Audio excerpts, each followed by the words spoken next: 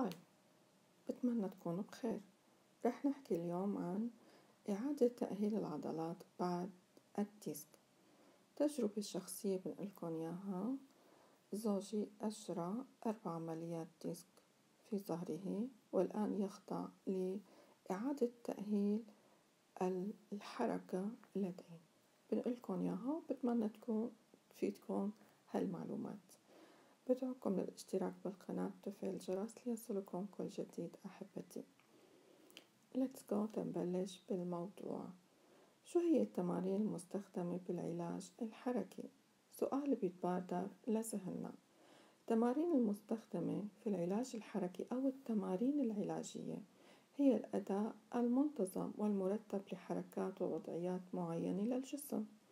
تهدف إلى إعادة التأهيل وتحسين واستعادة الوظائف البدنية والعضلية والتي قد تكون ضعفت لسبب ما.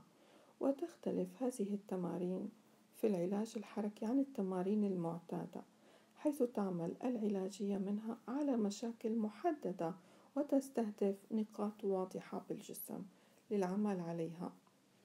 فممكن ترجع المرونة، القوة، القدرة على التحمل والمرتبطة بالحالة الجسدية دون سواها.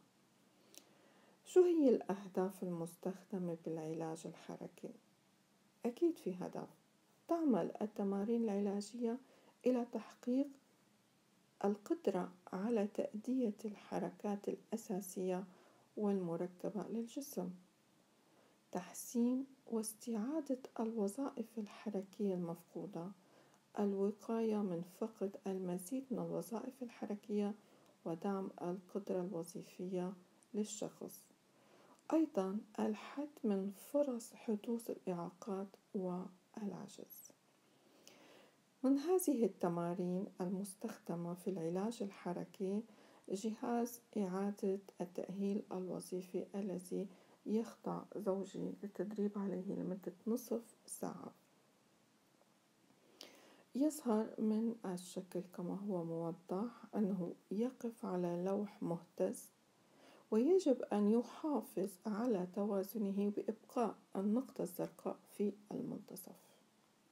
عند خروج النقطة الزرقاء من المنتصف يكون أن التوازن لم يتم تحقق على اللوح تعطي ضوء أحمر وبالإضافة إلى صوت. هذا الجهاز مدة التدريب عليه من 15 إلى نصف ساعة. ويجب عليه أن يحافظ على التوازن خلال هذه الفترة الزمنية. الجهاز يحرك عضلات لم يتم تحريكها سابقا بسبب الإعاقة الناتجة عن آلام الظهر قد تصيب العضلات القدمين والساقين الركبة أسفل الظهر. في هذا التمرين البسيط والمعقد يتم تشغيل وإعادة الحركة لهذه العضلات.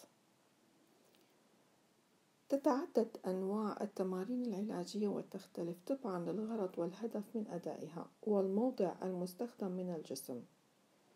مثلا عنا تمارين التحمل تمارين المرونة التوازن مثل هذا التمرين القوة والتي تعد من أهم التمارين. تمارين التوازن مثل ما نكون ملاحظين الحفاظ على توازن الجسم عند اهتزاز اللوح تحتك يعني تحت القدمين. يتم التركيز على عضلات الساقين والركبة وأسفل الظهر أيضا الكتفين. نكون نحن ماسكين بإيدينا حتى نقدر نحقق التوازن. تمارين القوة إنه هي عم تعطي للعضلة قوة كافية حتى تقدر تقاوم المقاومة الخارجية لأنه في عنا نحن حركة مهتزة تحت القدمين. فالعضلة رح تتحرك بقوة وشد محدد حتى تقدر تحقق هذا التوازن.